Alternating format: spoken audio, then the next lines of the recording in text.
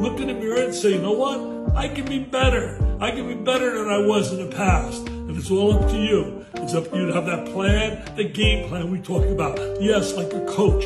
Have that game plan and execute it. Sometimes things don't work. And if they don't work, don't start pointing fingers and blaming everybody else. Just simply look in the mirror and say, you know what? I'm going to be better. I'm going to be better in the future and I'm going to flat out get it done in a very effective and efficient manner.